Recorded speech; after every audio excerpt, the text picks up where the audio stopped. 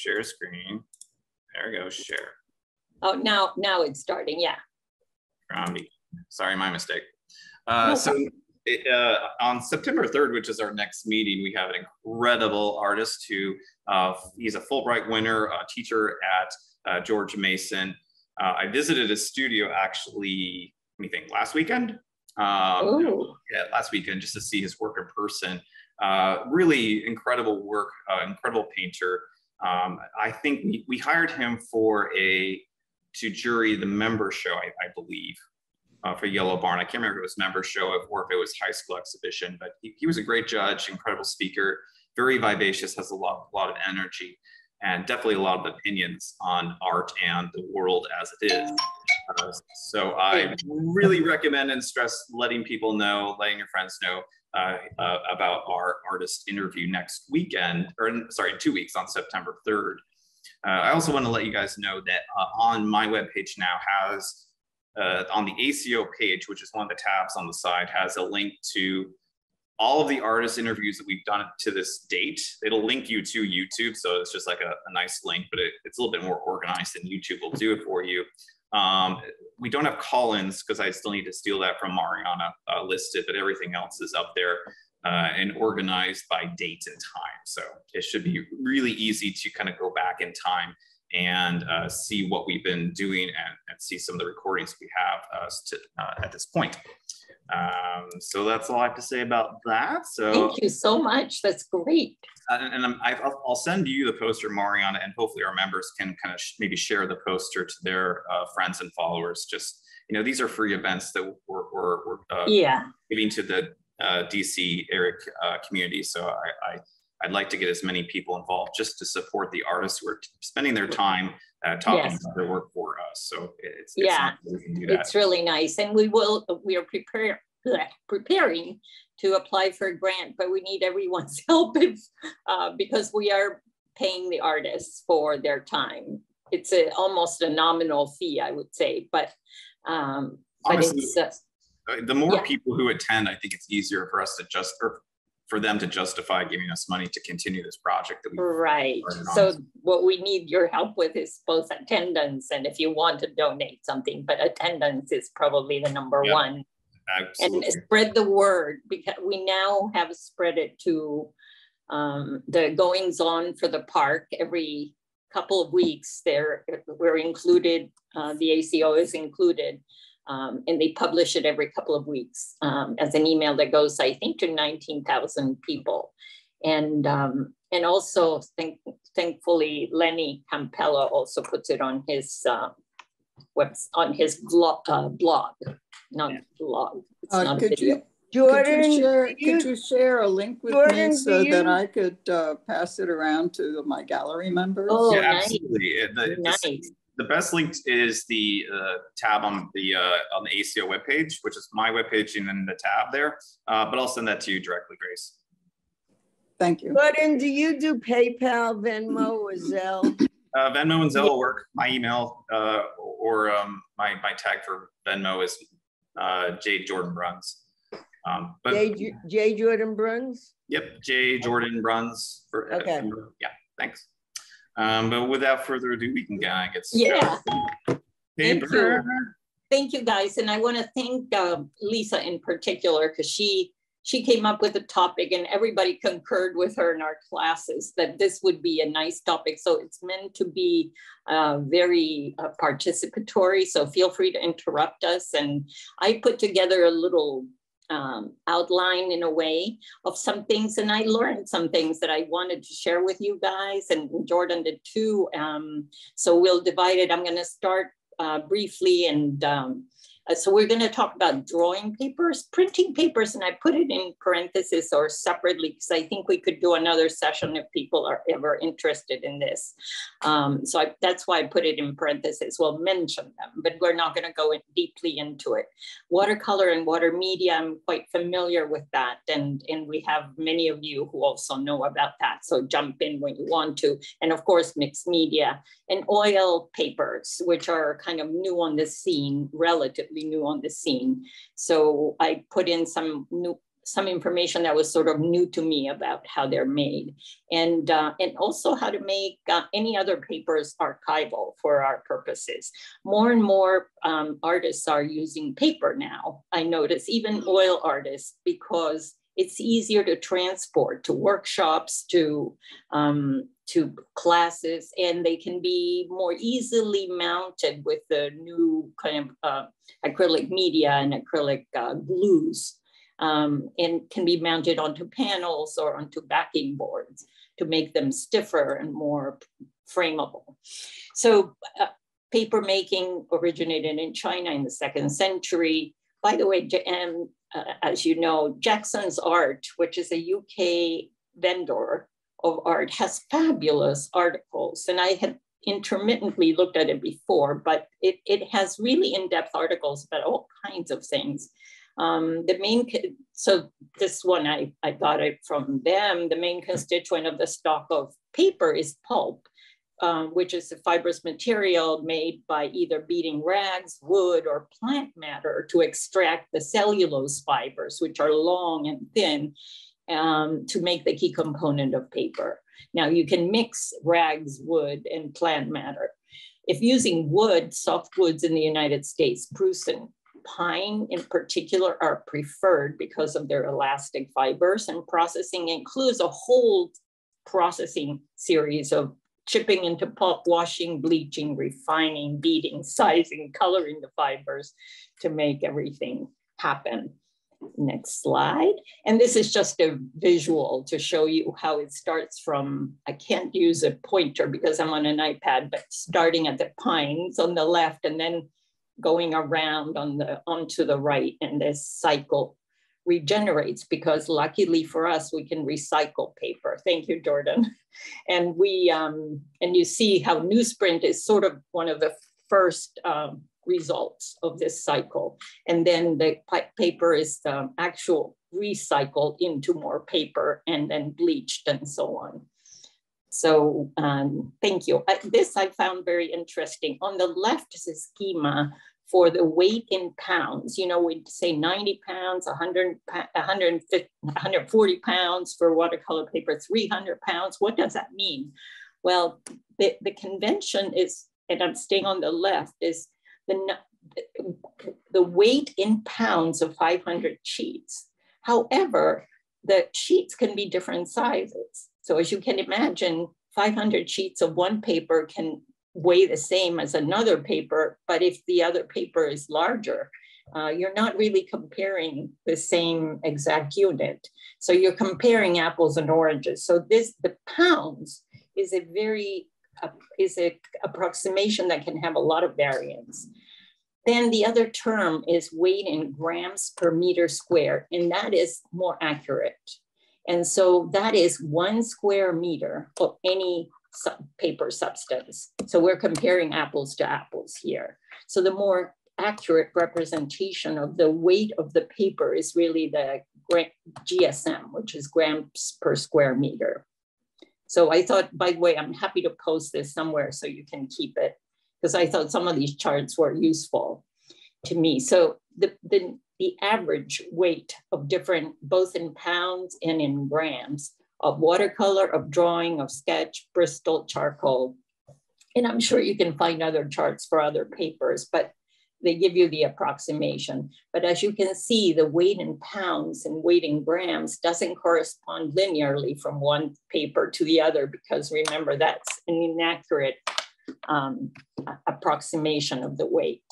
So if we can get used to saying, you know, 300 gram watercolor paper is 140 pounds, I, I'm used to pounds, but it, the more accurate is weighting grams, uh, grams per square meter.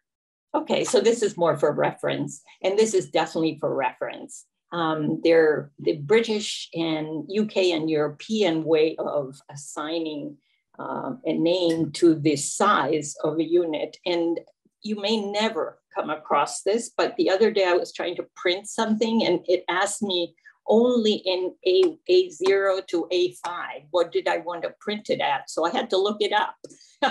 I did not know. So on the right, you have the representation in, in centimeters. So it's a that's the unit. So next slide, if Jordan can. Uh, oh, and Jordan is going to show you. Show oh, I thought something. I had this uh, my uh, uh, um from Japan. I thought I had because uh, they do the same system. Uh, they have a for at least panels and, and canvases. They have it for F.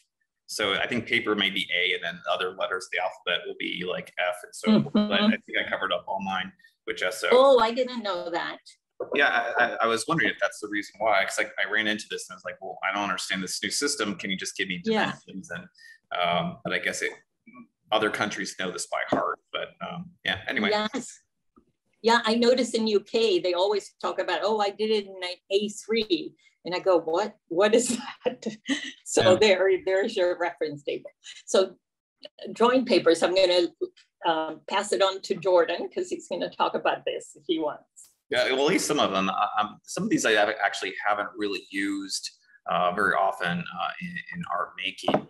Uh, but newsprint is kind of the the uh, I'd say the more I'm practicing because it's not archival. I'm going to throw this away at the end of class. Um, and it's a great warm up paper. Uh, it's smooth, it holds charcoal very well. Um, it's easy to kind of take a, a, paper towel and erase it down to at least comparable to where you started. Uh, so it's to me, I use it as a chalkboard paper, and eventually it gets to a point where it's just unusable, and then you just flip it over and start again. Uh, but for mm-hmm. practice, I think it's a great paper. Uh, the only problem with newsprint paper is when you do make that really amazing uh, drawing and you say, oh my gosh, I wish this was, was on better paper, it takes a little bit of like, I guess, mental preparedness to say, it's not on better paper. I just have to move on. right. I think we've all run into that situation where newsprint, um, you know, you've done this amazing drawing in class or of a model or, or whatever on newsprint, and then you just, you have to let it go and, and that's it. Um, I haven't worked too much on sulfite, so maybe you can talk a little bit about that. I, I have, Jordan, um, the, the paper that we use for um, gelatin printing is sulfite paper. And it's the heavy drawing, a heavy weight um, construction paper that's acid free by Pacon, P-A-C-O-N, and Plaza sells it. But what's nice about sulfite paper is you can color it very nicely with, um, with like acrylics, for example, and use it for um, for um, uh, collage. And, uh, and it's an okay for sketching and making, yeah, and uh, among other uses for like collage or construction of things that you want to be acid free. Yeah. Uh, in terms of drawing paper, we'll show you in the next slide a bunch of different types of drawing paper, at least in pads. Um, uh, in general, like the higher the weight, uh, the more expensive it's going to be, and the more durable it's going to be forever, whatever your drawing uh, purposes are. If you're just using like a pencil and you're just sketching, and you know, if it turns out great, awesome. If not, not a big deal. You know, lower weight papers is going to be fine for that matter. Um, my preference for drawing paper is always heavyweight. So if you can afford it, or if you, especially in a sketchbook, um, I, I, definitely think the higher the weight, the better. Um, but if it's just yeah. kind of like to doodle by the phone or whatever, a low weight is not mm-hmm. going to be a, a, big, uh, it's not going to make a big difference there. Um, mm-hmm. I do think when you move into some, you know, more classroom settings where you are, the, where the goal is to make a nice drawing and you are working in charcoal, uh, s- switching to a, a, paper that has a nice tooth to it, uh, you know, these longer 20 minute poses in, in, a, in, a, situation with a model, for instance, uh, using that charcoal paper that has a nice tooth to it, that is maybe pastel colored or whatever it may be, uh, is worth doing.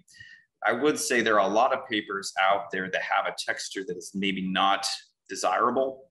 I think we, we purchased a paper for uh, the studio that has kind of like a lot of horizontal lines that I think were completely unnecessary. And then a lot of the drawings that I've created, they, they almost became a distraction from the actual uh, art that I was actually making.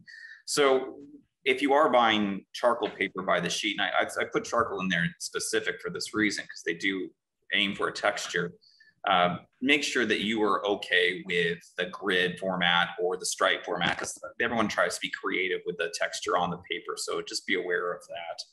Um, for pastel paper, I think it's a little bit less likely to have that patterned in the in the texture I do like the uh, Canson Mi-Teintes paper because you can get almost any color in the spectrum and it has a decent texture uh, that you can use for pastel, for Conte Crayon, for charcoal. Um, so I, I, think it's a kind of a, a, it's a low weight kind of paper. You might be able to get a, a heavier texture, but I, am pretty used to their basic paper um, by now. But I really like the ability to have a variety of different colors at your disposal with, it, with that Canson uh, paper for uh, pastel. And it's nice that you can use it for a lot of different uh, uh, mediums as well. For, for Bristol, I think it's, it's my experience with Bristol paper is, is mostly with pencil and graphite. It's a little mm -hmm. too smooth for mediums like charcoal. Um, if you like a smooth surface for your drawings, it, will hold uh, Conte crayon, uh, marker even uh, pretty well. It, it, the the penetration of like inks and, and things uh, is is okay for uh, vellum at least. Bristol and vellum are very similar, uh, but it's just a thicker kind of cardstock paper that is very smooth. Uh, some people like it, some people don't enjoy working on textured paper. Uh, other mm. people, uh, you know, it is what it is. It's whatever you feel best. Um, and then Mario put in this kind of a, a nice special category uh, that kind of can do a lot of different things for drawing, web, wet application, and so forth. Uh, the one I'm most familiar with is definitely going to be Arches BFK Rives paper, or Arches or they, uh, or Rives paper. This kind of BFK, and don't I don't remember actually what BFK stands for. Does anyone? No. Um, no. Yeah, but it's just this beautiful cotton rag paper that you can do water media on and it holds it beautifully. It's it feels a little bit more absorbent than a watercolor paper, but it doesn't buckle or bow or anything. Um, right. It's incredible for charcoal. It's incredible for graphite. Uh, so if, if money's no object and you're going to draw on something or just have a paper in your studio that's going to be for your your your art that you're going to sell, uh, the Rives paper is is probably my go-to. It does come, yeah. I think it might may come in three ways. It may come in 240 as well, but I know it comes in uh, 140 and 300. Uh, the 300 is a, is a pretty penny because um, uh, it is a, a, um, um, a printmaker's paper. Um, but it, it's I, I, think the 140 is just fine, and that's the one that's kind of my go-to for for many things. Um, I think Mariana probably can talk a little bit more about Stonehenge and Arches printmakers paper. Yeah the, the Stonehenge I have used a fair amount and I love it. it like like the Arches uh, BFK, I, I find that it can even withstand some wet applications, like for example, graphite, uh, water soluble graphite. And I haven't tried watercolor pencil with heavy water, um, but I bet it would um, take e easily the beginnings of water, not, not soaking the whole paper, but uh, printers use it a lot. So, and the printing paper is often um, put in a bath of water to wait for it, and then and then uh, a towel passed over it to to drain the excess water so it can withstand that without losing its sizing. And that's the important thing when you wet the paper. To what extent is it sized so that it will still reflect your paint application without soaking the pigment in and making it a dull appearance. So that's the importance of the sizing and maintaining the sizing. Um, Mylar is later too, right? Say that again. I'm sorry. Oh, so we have uh, slides on, or you have slides on size. Yeah, yeah. Yeah. Okay. Yes, I do. Do you know anything about uh, Mylar? You can go on. Um, no, Mylar. The new paper's coming out, and I have a little slide on on uh, some of these uh, coming up as well. So I'll defer to that. We can. Does anyone have any um, uh, favorite papers, or at least some suggestions that we haven't covered in, the, in at least this slide? Good. Are you going to talk about watercolor papers later? Oh, yeah. Yes. Okay. Thank you. This is just yeah. So jump in anytime as you, as we go through because we're not perfect at all by far. I wanted to have some uh, some pictures. Um, and by the way, the middle one is the one I prefer, the heavyweight drawing. So when I make a supply list, I, I put that as my preference because it can withstand more, a little bit of wet media. And I have, and also it, the heavyweight drawing has done really well with uh, powdered graphite for me. So if we don't have the Rives or the Stonehenge that are, that have a better tooth, Um, the heavyweight drawing has done very well um, in uh, with the graph powdered graphite and of course the wet media. So I prefer it, but it is a little more expensive than just the plain drawing paper, which you see on the right of it. Yeah, the one, the one thing about pad paper that I think everyone at some point has run into is you have a nice drawing and then you transport it. And then the papers do kind of shift in transportation and they yeah. will kind of smear and rub. Them. They rub. Um, yeah. I think if you have that really nice drawing and you're at a studio situation, look around the room and see if anyone has newsprint. And if you can tape the newsprint to the, the drawing so it's secured to the surface and not going to shift, uh, that will at least, especially with charcoal drawings where the powder is more sitting on the surface rather ingrained into the fibers.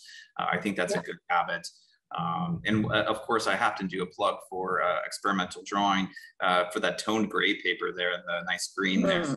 Uh, toned paper is yes, fabulous uh, surface to work on if you haven't done uh, a lot of drawing on a gray surface. I think later in the fall, kind of, I think our last session of experimental drawing, we have an entire thing entire four weeks on uh, just toned paper and drawing on toned paper and what that means. Uh, and it really is nice because you have to think about adding light and adding dark. So if you're more familiar with just working on white paper, your goal is really just to add line and to add shadow. If you're working on a black paper, your goal is to work on line and shadow. If you have a kind of a toned paper, you have to kind of think a little bit more I don't want to say three dimensionally, but you have to think about lights, you have to think about grays, and you have to think about shadows. You're adding their lights, you're adding your shadows, and your gray is your kind of your middle ground. So it does change the way you think about drawing and seeing uh, the world a little bit. Yeah, good point. In terms of not smudging, by the way, for for the make a plug for recycling the um, the paper that uh, many crackers come in, like the inner paper of the box of crackers, for example, or even cereals, is a wax type paper and that also i tend to to open it up and sort of iron it out just with my hands. And it can protect uh, either drawn or painted paper from each other. Like the acrylic papers when it's warm will stick to each other. Like if you're doing collage and you have painted and embellished some nice paper. Sometimes they stick to each other if you leave them in your car in the summer. And so I tend to put that. Um, also, just regular wax paper that comes in a roll and helps you to bake or whatever, and parchment paper also, those two work for protecting if you can't invest in glassine or newsprint handy. Um, so that's a good thing. This slide is really there just for FYI, not, not really all the applications, like the major applications of printmaking. And most of them, I have a slide, I think, on the weight of most printmaking papers. You want them to be supple enough to be able to kind of emboss some structure that you put through the printer, like a collagraph or a or a um, carved um, stamping like uh, linocut. Um, so you want you don't want a paper that's too too stiff. Um, and uh, and at the same time you want it to be sturdy enough so that when it comes out of the printer you actually have a good um, good solidity and integrity. That's all I want to say about printmaking. If people are interested in printmaking papers, Liana Harbath, who has dedicated her art life to printing, is happy to do um, to do a session on printing papers with us. So let us know if that's an interest and we'll enroll her and us into this. So I'm going to talk about watercolor papers and I wanted to give you a sense of the weight, the surface structure um, or texture, the edges and colors and sizing, uh, not so much on color. But you can see the 90 pound and after I just finished telling you that pounds is not is not very accurate. These are the, the uh, pictures I could find online because the US market is definitely wedded to pounds. Um, but I, I, have a little bit of the conversion in the lower um, chart that you can see. But the 90 pound, you can see the edging to see how thick one is compared to the other. And also you can see a little bit of the, in the 300 pound, you can see the deckling of the um, edge of say an Arches paper or even Fabriano. Um, usually the deckling denotes, but not always, that it's handmade rag paper. um, but it can be mimicked easily. And if you look at for the surface structure, you can see the wet application of hot pressed, not which is also um, cold pressed in the American language, and the rough. And you can see how the pigment, and I suspect this is uh, cobalt blue, um, which granulates. So you can see how the granules sort of sediment within the texture of the paper. And um, for the American market, well, no, not just American, but we use mostly the cold press, um, 140 pounds, which would be the middle paper. The 300 pound is extremely expensive, but as, a, as a prior watercolorist, I can, I, I prefer that. So I had gotten um, used to buying 300 pounds because I don't want to stretch it. And that's a whole other conversation about stretching paper or not stretching paper. What I have found, my limited experience, um, is that, I mean, limited in quotes, uh, is that um, when you stretch paper, it still buckles if it's not very strong. Um, so I don't know but, that it's worth the time and the effort to, to do the stretching. And that's part of the dilemma. Um, so I'm going to go to the next slide, Jordan, for uh, one quick thing. I think you're going to find that, that 90 pound mostly in um, in pads of paper, like we just showed it prior. Yeah. Where like Strathmore, or any of those that you, you, you get a pad of paper, it says watercolor paper. That's that's probably what you're going to find at that 90 pound. And correct me if I'm wrong, but I, I don't think I've actually seen 90 pound in anything but a cold press. I don't think they have a lot of texture in general. Good point at 90 yeah i don't i don't think so i think it would be called something else like vellum or you mm-hmm. know bristol or something it would be a not surface like i'm sorry a, a, smooth surface hot press type yeah. then wouldn't be called hot press it wouldn't have those granule kind of that you see in the photograph it would be a, a smoother vellum like paper. and I, I, think a lot of the time you're going to um, um, find uh, 140 pound and 300 pounds if you have a dog, please mute your microphone. Um, uh, you're going to find that 140 pound and 300 pound uh, paper uh, yeah. in a more of a loose sheet. So you're going to buy single sheets of paper at a time, uh, and, um, that's it, that's largely where you're going to find it. I don't think, unless it's a watercolor block, you're going to be able to find pads of paper in the 140 pound. Although maybe I'm wrong on that one too. I no, just, there are there are, but they may not be good. That's okay. the problem. They may not be very good. And and I have bought a, a grouping group different groupings at different times, and they say 140, but they may not have enough sizing. They may not be well made. Yeah. Did you want to talk a little bit about uh, um, the watercolor blocks as a as an option for purchasing? Yeah, actually, the watercolor blocks is kind of the easy way of not having to stretch paper and being able to paint in a way that it controls the buckling. And the reason is that it's covered, it's um, glued on almost almost all four sides, except for one section in the middle that allows you to put a, a knife or a painting knife in, and then um, oh, thank you, Jordan. I don't have one handy. Uh, and that's what how it looks. And it, it's 140 pound paper or 300 grams per meter square. And, and that's an Arches block.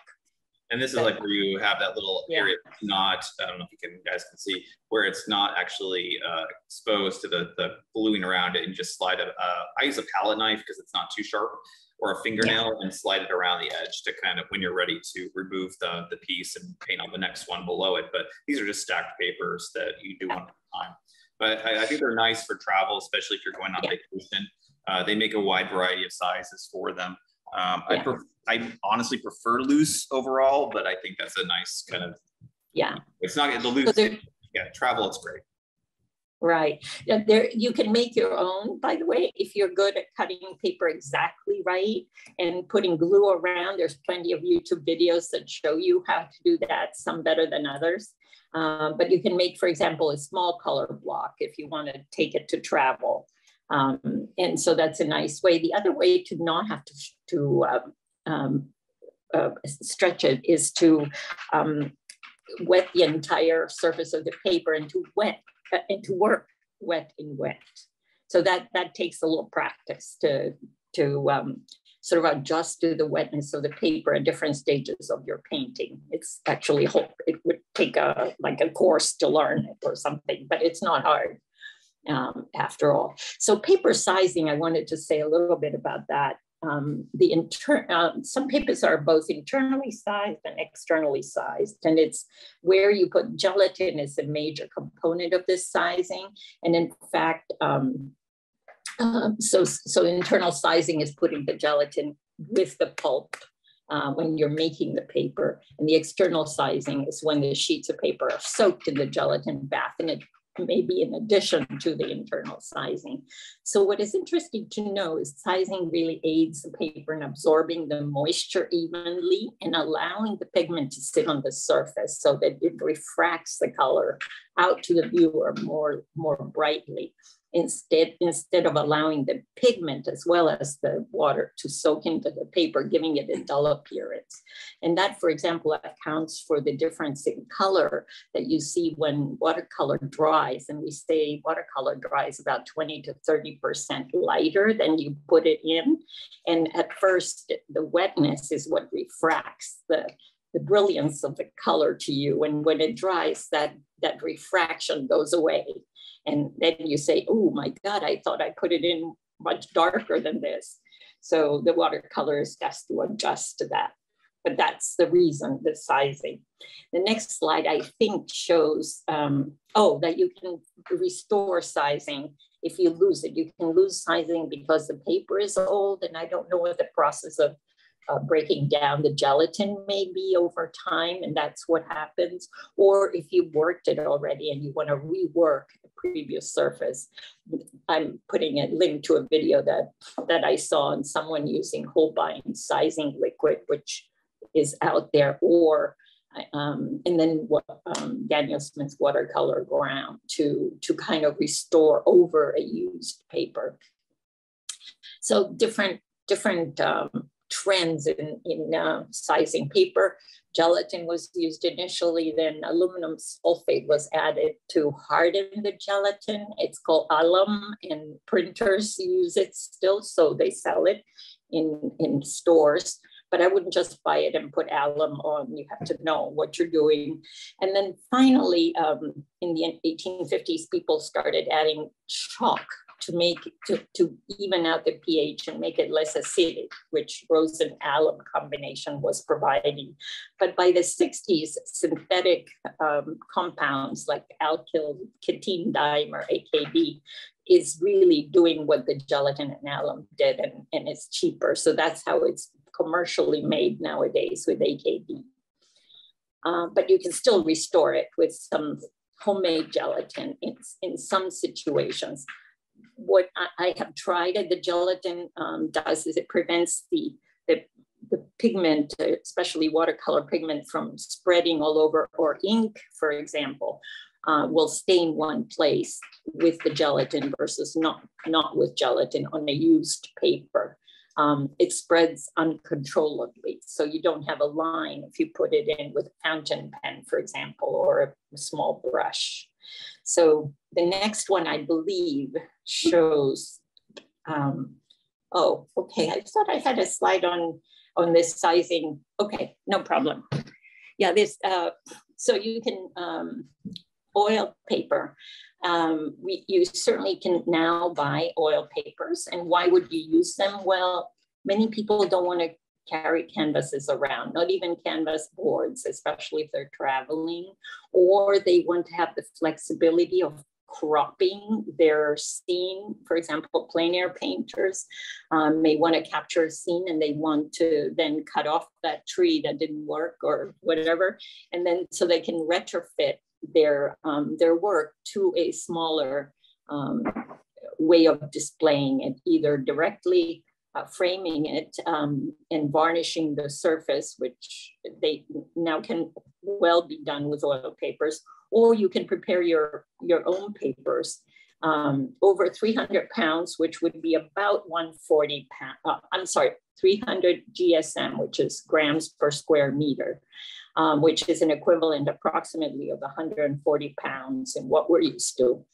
Uh, anything above that or in that can be prepared for oil painting for solvent-based media.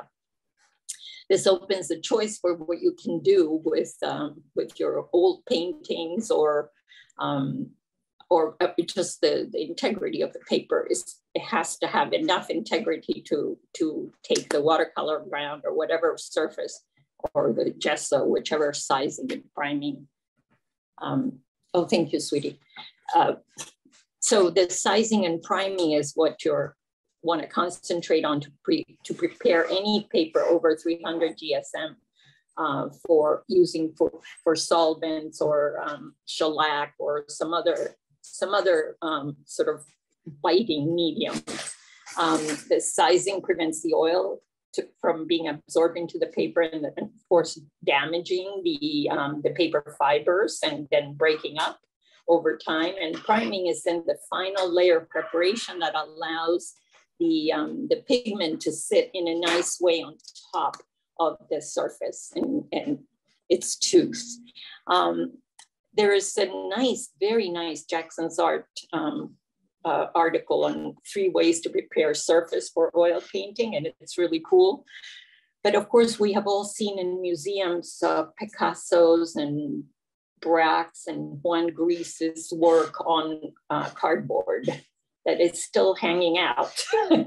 but I would say don't try it if you want to retrofit cardboard to oil painting um, think about the sizing and priming.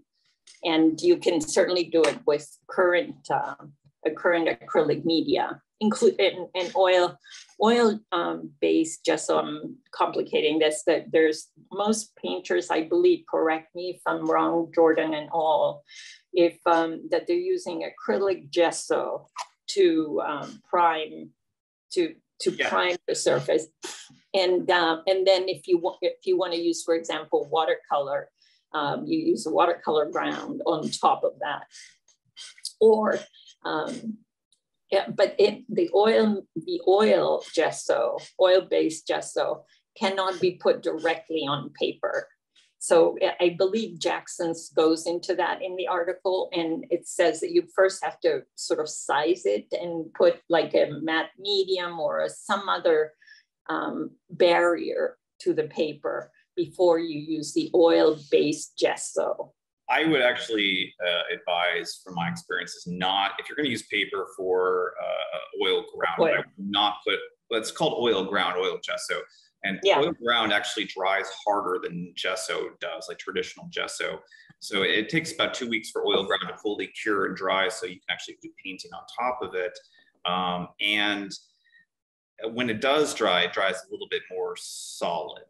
So if you have a flexibility of a paper, um, I think that's actually a little bit more flexible than even a canvas. So I, I would stay away from it. Yeah. Um, my suggestion and my guide for people who want to paint oil on paper and don't want to spend the way too much money in the art store, if you ask me, um, is if you have old watercolors, 140 pound, uh, I, I, in the past I've just shellacked them. So the process for shellacking, and this is something I learned at, at MICA, um, that you just take 50% uh, mineral spirits and 50% shellac, and just do two coats on top of an old watercolor that you just was a, a disaster or fail or whatever. Uh, let that dry and it has a, usually a kind of a gold patina to it if you do the amber shellac. There's amber and clear, um, which is a nice surface to work on. And you can crop it easily, you can cut it down. Uh, it's very transportable. It buckles a little bit, um, but for the most part, uh, it's a great surface to work on.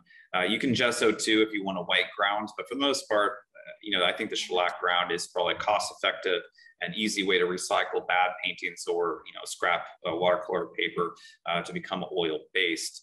The one thing I would add and something to think about though, um, is there's kind of an unwritten rule in art world where if you have, if you're thinking about, let's say you have a, a painting, oil painting beautifully done on paper, how do you present that to the world? Because typically um, mm-hmm. Um, unwritten rule is anything on paper has glass over it, but oil paintings generally do not. And don't ask me what I, I, I ended up putting glass on the ones that I've done just out of, I didn't know what else to do. And I still to this day have no idea how to present that aside from is actually taking your, your oil paper and mounting it on wood, uh, whether it be a panel or something along those lines. Mm-hmm. Otherwise, you have to probably frame it under, under glass. So just something to think about if you are an oil painter and wanting to work on paper just for convenience or storage or whatever reason, uh, that one that really turned out well that you want to put into a show, you have to really think about how it's going to, how it's going to be presented. Because typically under glass, people are going to be like, "Oh, it's gouache," because it's opaque and it's yeah. on paper. So if you want to avoid that, then you have to kind of devise um, kind of techniques to work around the idea of having to frame paper. Uh, so something to think about. Very good point. Yeah, Penny. Either way is presentable, it sounds like, with oil on paper. Yeah. And mm. one thing, if you are intending to glue it to a backing board or to wood or to even to, um, some people are doing it to um, uh, car, this uh, spongy cardboard. I'm blocking on the name of uh, of um, the the backing. Foam core it's a foam cord, but it's yes, thank you. So some people are doing an archival foam uh, core. And the thing is to remember not to, um, some people protect the back of the paper from touching it with your hands full of oil paint or from the oil paint to go sl slip into the back of the paper. So the back of the paper remains receptive to acrylic glues or PVA glues. And so some people actually cover the back with a piece of freezer paper and tape it all around to make sure that they're um, the back, because otherwise any oil uh, remnant on the back of the paper will resist the glue because it's oil. So just that, and my pet peeve is that many um, masterworks nowadays in museums, which are done in oil, are being presented under glass yes, it's museum glass, but I am, it's a big pet peeve of mine that I go to a museum in another part of the world, pay all that money, and then you see the reflection on glass. Do you know why, Jordan, or anybody uh, else? It's to protect it from activists who are throwing stuff. Yeah, yeah, I, I, that's the only reason I could come up with. Or, I mean, you get those, you know, like we talked a little bit already about paint on cardboard, like those Toulouse-Lautrecs I mean, they have to be preserved in like a dark room, air temperature controlled, uh, because and they don't mm. even present them that often. They'll have them on rotation, so right. they're not exposed to people breathing uh, because it is such a, a, an unstable surface to work on. Uh, so they have armies of people just making sure they don't fall apart. Uh, so right. any protection, I imagine the Mona Lisa is like that. That frame is probably yes.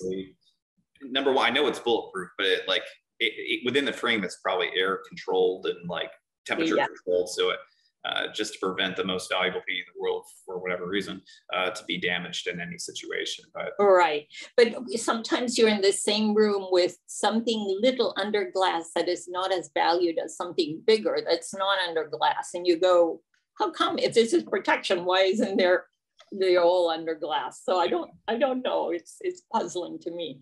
So this chart is actually helpful from the Jackson website. Um, it's just to, to show, and it's almost not readable, but the different kinds of oil paper. And there's one that they added that I have not seen. Maybe, maybe some of you have uh, experienced with is the Hahnemühle paper, which is actually made with bamboo fibers. So I talked before about the makings of paper and it's mostly wood pulp and rags and and so on. But now more and more bamboo is being used. Uh, you've seen it for furniture for cutting boards and it's because it's more sustainable uh, it grows easily. It, uh, it actually propagates way too easily for some people's taste. And it has very long fibers, which make it really sturdy. I'll never forget going to China in the 1980s and Hong Kong in particular and seeing these very high rise buildings, including 50 floors and more, all within a scaffolding of bamboo. And I could not believe your eye would get lost in the sky looking at how far the bamboo goes. And I could not believe that they were using bamboo, but I, I now believe it. So um, we kind of talked about this with gesso. Um, you can even, uh, for watercolor paper retrofitting any watercolor paper. There is a commercially made watercolor ground and uh, or you can make it yourself. I've certainly made it sometimes using paper fibers added to the gesso or just adding some more marble dust to the gesso, which normally it has. You know, that grittiness that you feel in the acrylic gesso is marble dust and uh, which is archival. Um, but uh, other people are adding talcum powder out there or corn flour. I've seen that by some UK artists to thicken the paint. Um, and I don't know if corn flour is archival uh, or what the ending pH is. I, I keep wanting to stick with marble dust because you can buy that at the art store. Um, anyway, it, what, yes. What does that do? Does that give the paper texture? yes, it gives more texture and absorbability of the paint. That's what you're aiming for in a, for example, in a watercolor preparation. Very good question. Yeah. Yeah, normal gesso, it's it's what it's marble dust and gypsum, uh, which kind of yeah, gives uh, that white uh, kind of coloring. Um, they have a clear gesso out there too, which is for I'd say acrylic like synthetic. There's no like marble dust really. And if you are using a clear gesso to kind of uh, go over, uh, let's say you did a watercolor and you say, oh well, let's do oil on top of it, which is something we do in class here. Um, you use that clear gesso over the entire watercolor, and then you can actually paint oil on top of a watercolor, which is really mm-hmm. cool. But it's not going to feel the same as painting on a white gesso surface. But you, you also get the benefit of the watercolor showing through, although it is a, a little bit kind of um, uh, not, it's a little cloudy. It's not the same kind of clarity, right. um, but it's still a really kind of fun process to experiment with. Right. Right, so we can move to the next slide unless there are questions on this. And this is what the bamboo paper, the Hahnemühle is the, I think it's a German brand or I'm not sure who makes it, uh, what where it's made, but um, it's very cool to, to watch this progress. So their bamboo paper is 90% bamboo fiber and 10% cotton, which is a nice, nice combination, but I have not tried it. Has anyone? By chance? No, none of none of us. But it may be. I haven't even seen it for sale. I think you might have to order it online because I haven't seen it at Plaza. But it, I'm curious about it. All right, we can. Stop. Any... Stop. Hey. Sorry. Yes, Linda. Um, Did you want to say I think she's dealing with dogs. Oh, okay, okay. Um, so, so the, I just wanted to mention a couple of really oddball papers that uh, uh, I find really exciting, and and some of you may have heard of it or even had experience with it already. But it's Yupo paper, which is a synthetic, inert, and therefore archival paper, mostly for water media applications like watercolor and acrylic and gouache. I haven't seen any oil being painted on it, but I wouldn't put it past it that someone will try it or has tried it.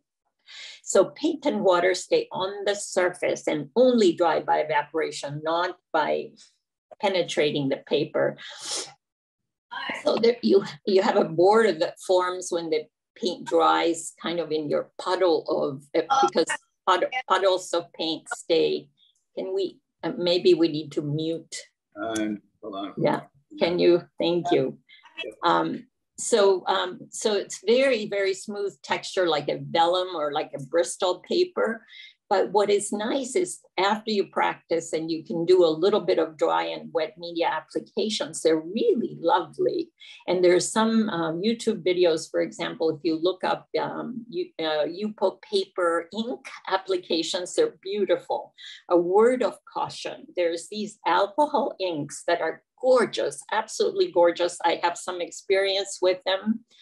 The problem is they don't have pigment, they're just dyes. So alcohol and dye of different colors. So it is not a long lasting color.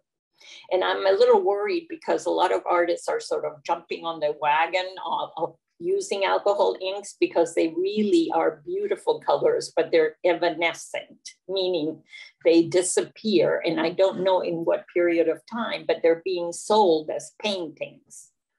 So just to caution you that uh, if you buy alcohol inks, just beware that they're not an archival, they're not a pigment, they're just dyes. And they're gorgeous. They they um, they are beautiful on metal and on different kinds of metal, for example. And I don't know how how long they last on metal, but it, they're not for paper for canvas art. I would say, at least not archival.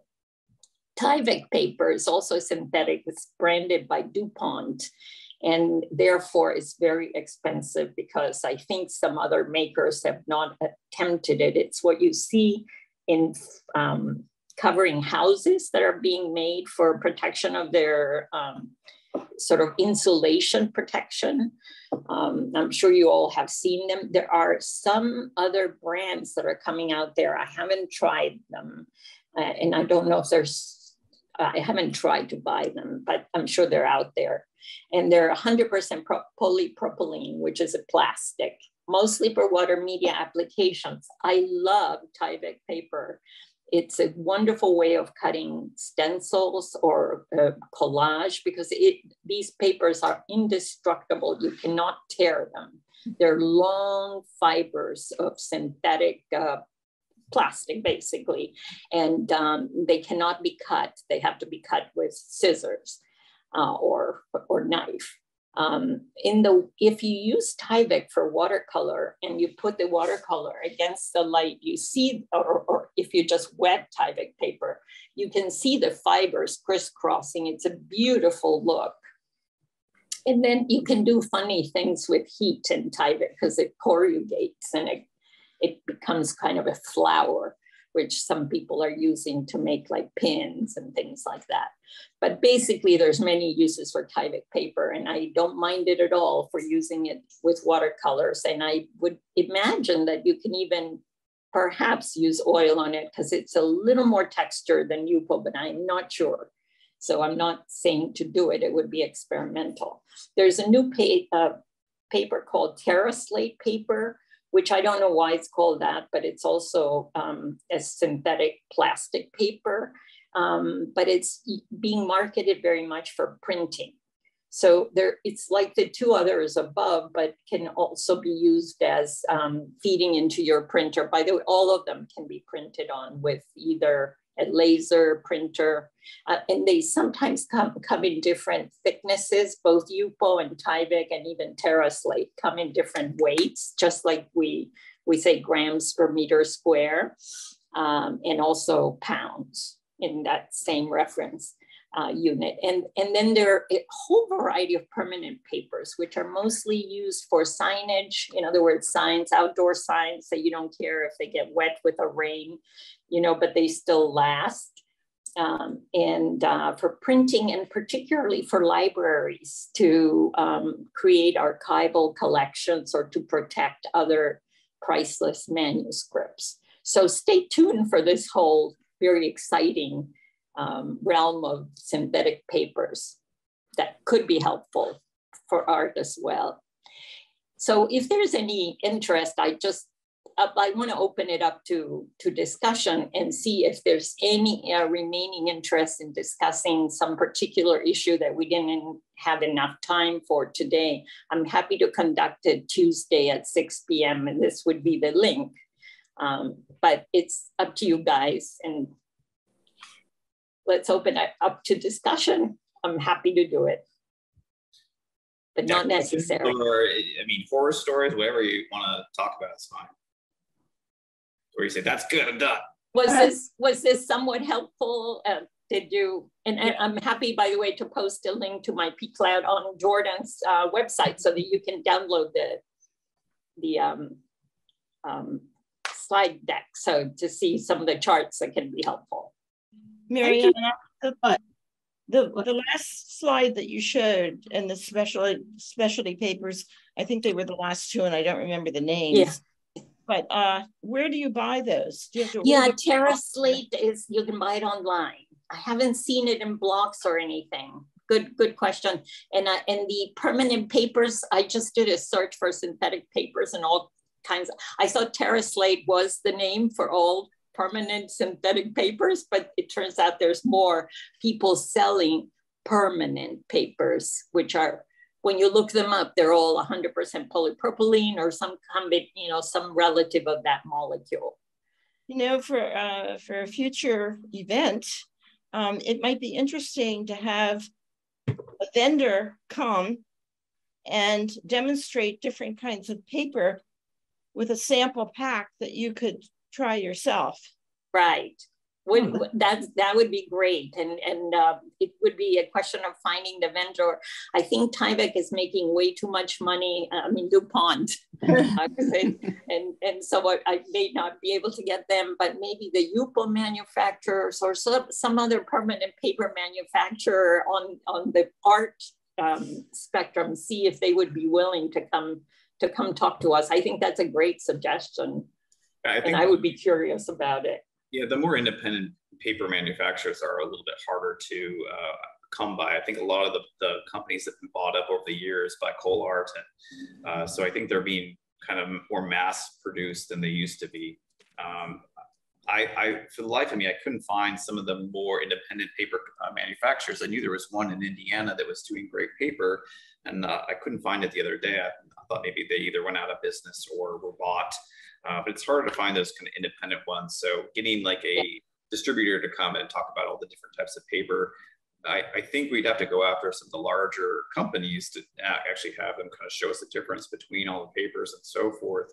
Uh, but we may be even as a Glen Echo Park entity, maybe a little bit too small. yeah, yeah. insignificant in the, in the vast uh, scheme of how much money they make. so it might have to be one of us doing it. In other words, buying yeah. all the different papers and seeing that we could do. How, how it applies. That we could do. What about Plaza? grow that big? you never know. yeah. Um, right. Plaza sell these different papers? Plaza sells Yupo, and Yupo comes in whole sheets. Um, and actually, Grace can tell us more about Yupo. Do you want to say something? Uh, it does come in very large sheets. Then, like you said, you have to cut it with scissors or a knife. You cannot tear it. Yeah. It also comes in pads that are, um, I think, about 12 by whatever. Nine, I think, nine by 12. Yeah, they're, they're small pads, but it's, uh, if you want to try it out, I suggest you get a, a little pad and see what it gives. there are yeah. I, I find it fascinating. I use it a lot. Yeah. So, the, um, the sorry, go ahead. The ink applications are wonderful on Yupo too. I don't use uh, the alcohol use, inks at well, all. You use acrylic inks, no? I use acrylic That's inks. I use yeah. soft acrylics. I use uh, Tritech inks. They're interesting. And uh, watercolor, if you, if you can. The thing is with watercolor, you put it down, you have to really leave it there, or else if you put something wet on top, it, it, it erases it. So it's, it's right. very tricky very, very tricky. Yeah, you have to use more creamy watercolors in that You do. Sense, That's right? why the acrylics work better. Yeah, the acrylics really can have the surface dispersion that is more applicable to Yupo. You're right. Right. Because they hold on better. Well, it's the... it's acrylic on acrylic, so that works better. Yeah, it's a, it's plastic on plastic. yeah, Penny. Um, I just wanted to comment. I I've signed up for one or two of the Plaza online events where they send you samples of the paints or the paper. Oh, yeah. And I did one with uh, pastels, and they sent me a sampling of different papers as well as sampling of some pastels. So that's sort of something like that that I had in mind, I guess. Okay. We could talk yeah, may, maybe Plaza would like to do a presentation. Yeah. Yeah, we need to brings yeah. to question. Thank you guys so much for doing this. this it's so wonderful. helpful. You're so knowledgeable, both of you. yeah. Yeah. it got us to learn too. Yeah. it really is helpful when you guys give suggestions because it's, you know, we might not think about it and and it might be helpful to us and you. so I think, I think the, the the, the, the goal for most people, I think, is to find a paper that you really like for each medium that you work in mm-hmm. uh, and then just stick with it until somebody else gives you a better option. Um, mm-hmm. For me, it's always been BFK paper, and then just I I've been happy with Arches watercolor paper for all that, and I'm I'm happy with the 140 pound. I'm I'm not very picky, uh, but those two papers, and then a, a, tinted paper for pastel and for Conte and things like that, like a neutral gray, uh, black, or even a cream color. Um, but those, I mean, that's five types of paper at the most that I really work in, and that's about it. And are you able to get all of those at Plaza, Jordan? Yeah, or? absolutely. Yeah. The only thing that I think would be hard to find, uh, the sketchbooks that I use, I don't think I have any that are readily accessible. Uh, the sketchbooks I use, they stopped making. Maybe I, I, haven't seen them at Plaza in a while, but they, it's a really heavyweight paper. And even that, I mean, I use markers as a as a sketching medium, and that even that paper it, it bleeds all the way through. So yeah. I still have yet found a the perfect paper to go out, or I guess in the sketchbook format at least, uh, where the, the ink or the alcohol-based markers don't bleed all the way through. That's still on my to find list. The one last thing I actually didn't talk about is uh, when you get a pad for a sketchbook or whatever, uh, think about the binding, like how the papers are attached to one another. I prefer a spiral just because it'll open up completely flat, flat. versus when you get like the kind of the glue bound type sketchbooks where everything's glued onto the at, at the top, kind of like the watercolor uh, things we were showing you a minute ago. Those will split apart really easily.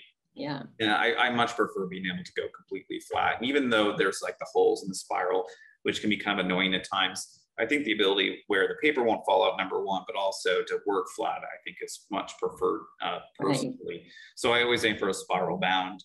Um, sketchbook, and you can also throw a marker in the spiral for, for transportation. So I, I would I would suggest doing that. Yeah.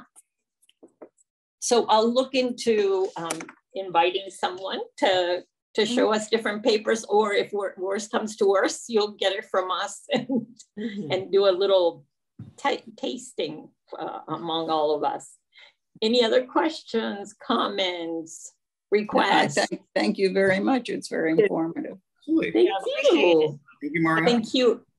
Thank you, everybody. So I'm going to post a link on, uh, I'll send Jordan a link in addition to the Colin uh, Campbell uh, YouTube, which I thought I had sent you, but I'm not sure. I, I have to look. If you did. Yeah, um, I will. I will post a link so you can download the presentation. Just don't, you know, don't quote me. It's I I, I got uh, it's for educational purposes, so I I um, took sentencing from different places, um, and it's purely for our edification. And it, there may be some things that are wrong or proven wrong later.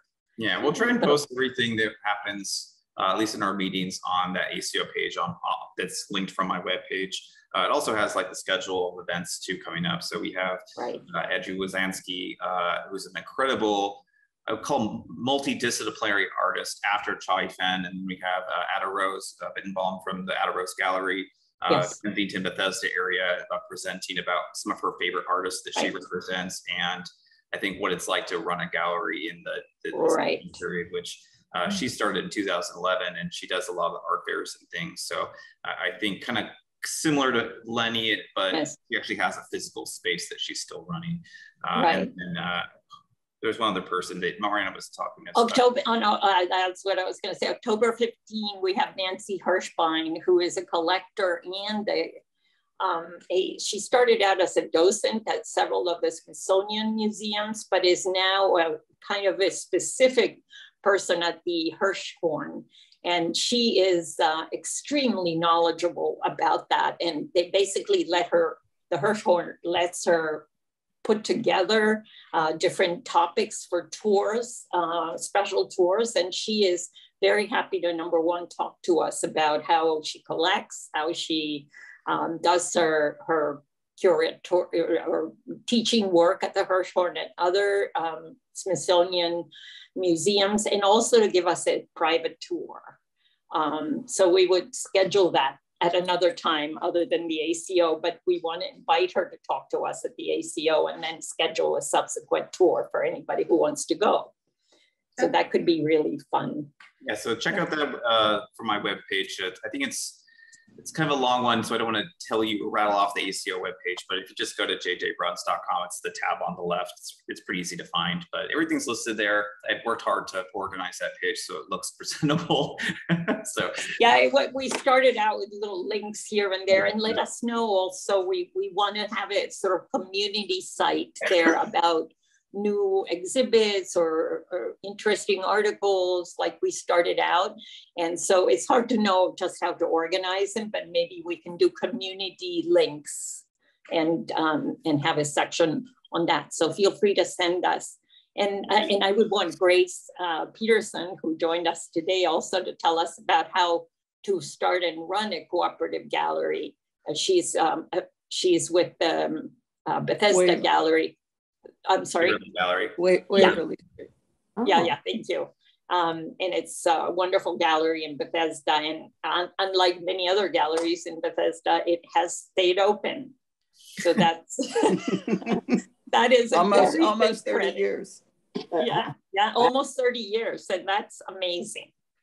Yeah, because uh, we're sad to have lost so many galleries. All right. Well, thanks everyone. Well, thank you everyone for taking the time. I know it's August and people are on vacation and so on. So the hard, hardcore, the hardcore participants, God bless you. Thank you everyone.